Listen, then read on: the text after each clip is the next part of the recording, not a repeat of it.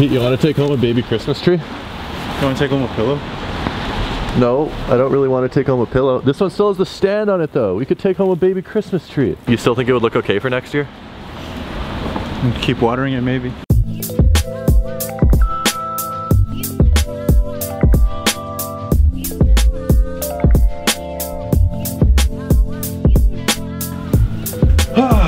Thank you everyone for tuning back in again today. It is Saturday afternoon. We are in Manhattan again. And it has been raining and gross and cloudy the entire day. We went to the Museum of Modern Art in the morning, which was interesting. And then I've been catching up on work because the weather's been so bad. It finally is starting to clear up a little bit. It's not so rainy outside anymore. And Pete is down somewhere around Wall Street. I don't actually know what he's doing down there. I'm gonna hop on the train, go meet up with him. I hope all of you guys are having an amazing day. Make sure to hit that like button. Make sure to hit that subscribe button if you're new to the channel. And follow me on Instagram at Tom Stefaniuk if you somehow haven't already. I only brought one rain jacket this week and it's that bright blue, green, and red patchwork Tommy jacket. I'm trying to decide what I value more in life, not getting wet or wearing clothes that actually match.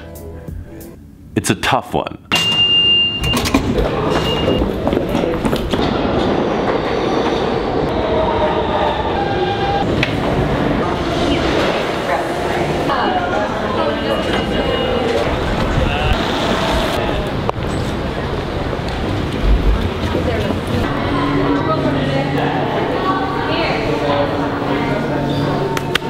Why'd you come to Kellogg's? I never heard of this place. You've never heard of Kellogg's? Well, this place anyway. Peanut butter Pop Tarts. What? Where? Peanut butter Pop Tarts. What in the world? Oh my goodness. Cherry. I might need to buy some of these. Mm. Okay, peanut butter Pop Tarts are officially the best thing ever created. How's the Pop Tart? It's really, really, really good. Remember when I said it had stopped raining earlier? Not exactly true. It is still raining. This sucks. Pete, why didn't you bring an umbrella? Raincoat. the amount of one-line answers you have given this week.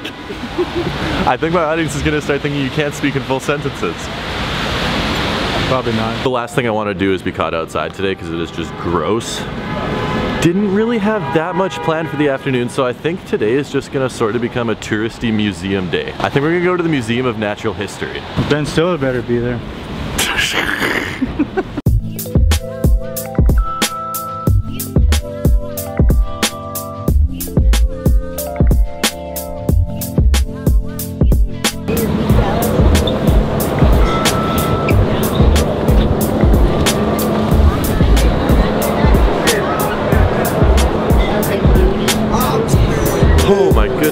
the busiest train I've been on in months. That reminds me of back in Hong Kong when people were just packed like sardines. Not quite as bad, still pretty bad. So we went into the museum. It was a little bit dark and a little bit loud and a lot of it packed because apparently the last hour of the museum is free. And there's tons of cool stuff, but it was, as I said, a little bit loud and a lot of it dark so I didn't really get to film that much. So we got to the museum a little bit late. Good news is we got in for free and saved $23 per person, which is sick. Bad news is we only got to see like half of the museum. I mean, it's honestly really cool though. For someone that normally doesn't care about museums and stuff, this was sick.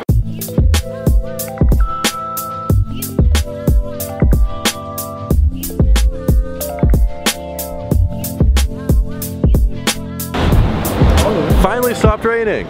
This is amazing. I can take my raincoat off now. Why don't you take your raincoat off then? It looks gangster. What? I've been thinking long and hard, long and hard, and by that I mean I put like two and a half minutes of solid thought into this. For me, that's pretty good though. I've been thinking long and hard about a pair of shoes that we looked at yesterday, and do I need to buy them? No. Do I need to spend the money on them? No. Could I save the money, use it towards something more productive? 100% yes. Am I still going to buy the shoes? Yeah. Get it? You know what? I don't know. Worst case scenario is I decide I don't want them and they sit in my closet for the next two and a half years just like most of the other shoes that I buy. So it wouldn't even be that bad. We're gonna head over to the store, pick them up. Hopefully they still have a size 12 left. And I'll show them to you guys later on because they, they are really, really nice. Oh my goodness, Kay, we didn't come here for these, but now I'm now I'm really torn. They have the Westbrooks. These are fire. These are so nice. What a weird looking colorway. Best basketball shoe the Jordan brand has put out since the Jordan 28 though, by far. These things are amazing. I mean, seriously, take a look at these though. The paneling, the colors, the materials. These are nuts. There's red, there's navy, there's orange, there's another orange, there's yellow, there's blue, two shade, three shades of blue, and then just this crazy midsole. Really well done. This, I think, just fits Russell Westbrook's crazy fashion sense perfectly. And they're only $125. These are definitely gonna go on sale in some colorways too, so this is good. Oh, whoa! Okay, that is sick. They have the shoe tag on the bottom of the shoe. That's dope. Woo. That was close. Yesterday they had four size 12s. I came back today, last size 12. Last. You really don't like saying long amounts of words in strings together, do you?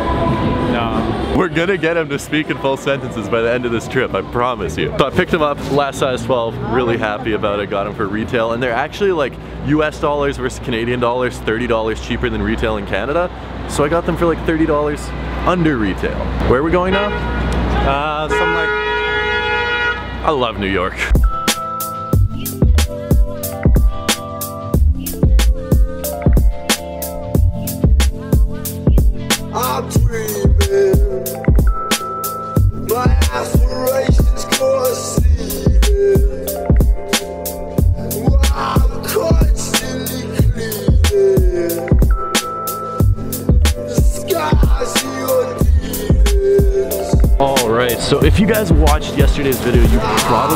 A pretty good idea of what these are already, but in case you didn't, they are a pair of Jordan 1s, and they are none other than, none other than a Jordan 1 Sports Illustrated slash Milwaukee Bucks slash A Star is Born. Now this is the first pair of, or what? I don't, what? Disregard that last sentence, that wasn't even English, but this is the first Sports Illustrated cover that Michael Jordan was ever on. That's the color scheme that inspired this pair of shoes. You had the Milwaukee Bucks and Michael Jordan, so you get the Bucks colors, you get the Sports Illustrated magazine cover, and you get all the colors put onto this shoe. I don't really give a crap about the theme in the slightest. These look more like a Gucci Jordan 1 in my humble opinion. Like you have all the Gucci colors, you have black, you have white, you have the stripes, you have the embroidery. These just look like Gucci Jordan 1s, not a Star is Born or Sports Illustrated. Shout out to Scott Skiles. I feel like Scott Skiles is on the cover of that Sports Illustrated issue. This pair is laced up like disgustingly tight because it was on the shelf, so we are going to need to fix that because that is just unacceptable, but the leather is awesome. It's, it's not a white, it's like a cream, and it's super soft. It's not crazy soft, but it's really soft, and you have the embroidered swoosh, which is a awesome touch, something that I've never seen on a pair of Jordan 1s before. You also have the thicker leather tag instead of the regular nylon tag up here with the Nike Air. And then one thing that I'm not a fan of, but at the same time still think it's pretty cool, is they have the wings that open up, and I think it just says a star is born. Yeah, star is born. Take it for what you will, it's a regular pair of another pair of Jordan 1s, and it's nothing that fancy in the slightest, but these sold out instantly online. They sold out instantly in Winnipeg, they sold out instantly in Toronto, because I asked my buddies over there. And they sold out pretty much everywhere. This is the only sneaker store that we've seen them in. They might be at like Flight 23, but besides that, they're gone pretty much everywhere that they release. So it's great to get these for actually a little bit under retail price in Canada, sitting here in New York. That's really all I gotta say about these, but before we do get going, I need to give a huge shout out to the sponsor of today's video, Rose Gold and Black. Now they partner with me on a weekly basis and I need to give them a huge shout out for making it possible. Everything that I do on the channel, they are a big reason that I'm able to do it. They sell a whole bunch of different jewelry, bracelets, necklaces, pendants, everything you can think of for actually really good prices. It comes in really expensive looking packaging and it but it's not expensive jewelry. It looks good. I don't usually wear bracelets and I've been wearing theirs periodically over the past couple of months. You can see what some of them look like. They sent me a gold chain, they sent me a silver chain, they sent me a black chain, and of course, most importantly, they support everything I do here on the channel. So if you guys wanna head over to the personalized link in the description, you can save 25% off every single item on the site. No code necessary, just use the link down in the description. So once again, thank you to Rose Gold and Black for sponsoring this video. I truly do appreciate appreciate it. They support me, so you guys make sure to go support them. That being said, I love you guys from the bottom of my heart. I'll see you tomorrow with a brand new video. We're gonna be back in New York doing a whole bunch of awesome fun stuff. So until then, peace. I'm live like ammunition, no permission needed. I proceeded to accelerate. Had days with hella hate, but gotta let that anger migrate. All this shit that's on my plate, that food for thought that can't be bought, but only taught. And on the real, no, I can't get much higher.